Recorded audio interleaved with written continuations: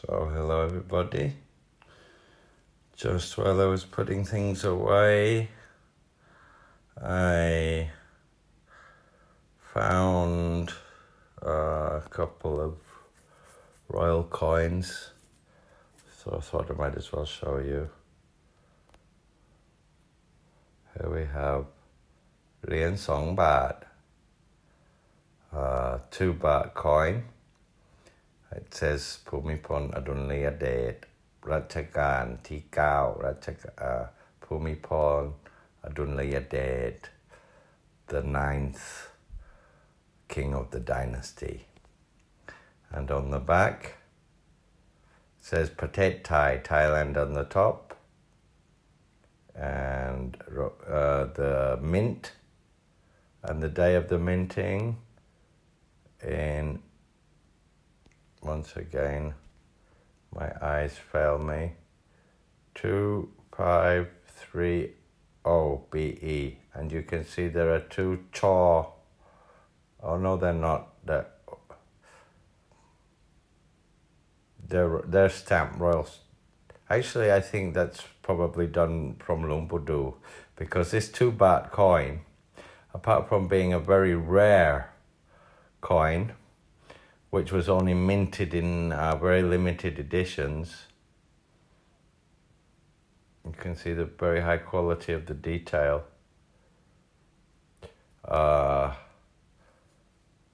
not in mint anymore, was actually blessed in 2531 by the great Luang Pudu of uh, Wat Sakae uh, in Ayutthaya, the great Luang Pudu. So it's a two baht coin, but with the temple stamps and blessed.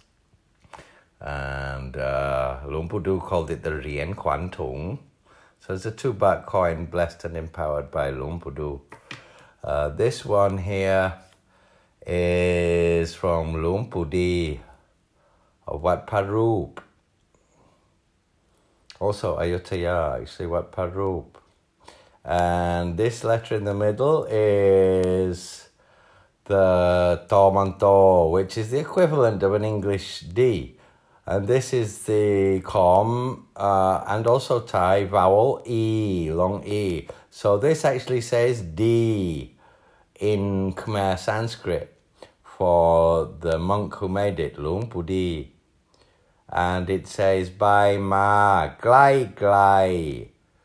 ปลอดภัยทั่วทิศ go by go and return far and near safe stay every direction and on the front is of course uh, สมเด็จพระจุลจอมเกล้าพระเจ้าอยู่หัวรัชกาลที่ห้าเสด็จพ่อ uh, King Rama V yeah and This was blessed in 2536 uh, by Lumpudi uh, at Wat Pra Roop in Ayutthaya and is meant from Nuea Galai Tong, mm, King Rama V.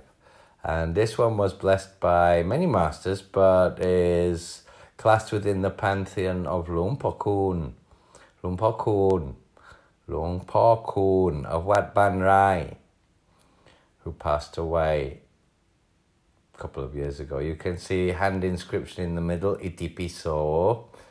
That's because the rest, that's to complete the formula of the, the embossed kata, which is actually the, um, uh, has the kata, Mongkut Pra Putta Jao, the crown, Buddha's crown yantra kata, incantation or sutra on it, yeah? Um, which begins with Itipiso and was formulated by the great Lumpu Iam of Wat Nang in Nonthaburi. Uh, Lumpu Iam Wat Nang, very famous for Takrut, Mak Toi, and uh, um, Pitta amulets. And that's also Rama 5, blessed by Lumpa Kun with hand inscription and the kata, Mongkut Pra Putta Jao Buddha's crown yantra on the back. And this actually still has the paper from the temple with it. So there you are, three nice royal coins. This one I'm keeping, I'm afraid, not for sale. From Lumpudu, 2531BE, two baht coins. Any coins that are all being smelted down. All of the special celebratory years or rarer baht and one baht and five baht and ten baht coins that have been printed with His Majesty Rama 9. I'm keeping because they're smelting them all down now and pretty soon they'll be disappeared and there will be collector's pieces and then they will become of course uh, depending on the series and the rarity. Just like stamp collectors like a penny black will become very valuable and rare. And his majesty uh, there won't be many coins in the future of his majesty. The mint is already calling them back. The post office are asking for coins, the mint is asking for coins and banknotes so that they can uh, change to the new, our new ruler, His Majesty Rama 10. And so I would advise anybody who finds a Baht coin from a Jubilee or anniversary edition year to keep it because it will be worth more than one Baht. It will double its value, triple and so on, and eventually one day be very valuable. And also a nice memo, memo if you like His Majesty, if you ever His Majesty Ramanai. But anyway, that's not for sale, that's mine.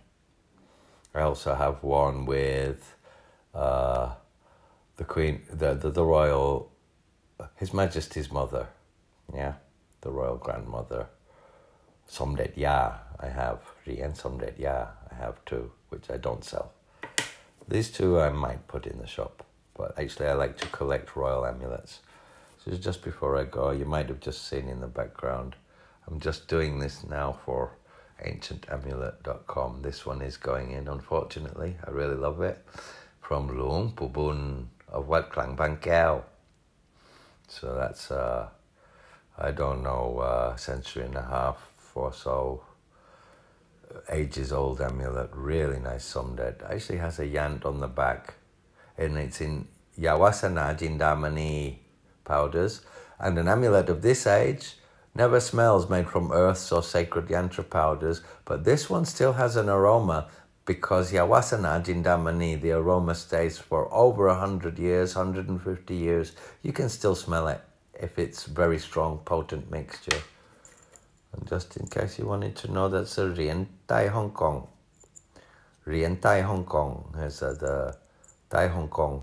is a famous Mahayana uh, monk in China who built a massive statue and made a lot of merit in China. Was blessed in 2522 by Luang Pu Tok of Wat Pradoo Chimplee.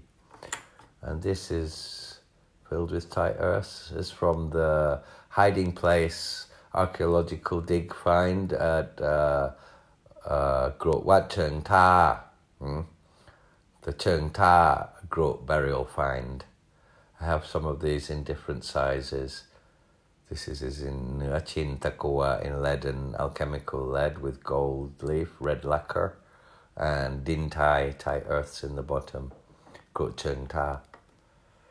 And otherwise, there you go. We had the royal amulets, and at the end just a little taste to show you what was in the background. See you later everybody.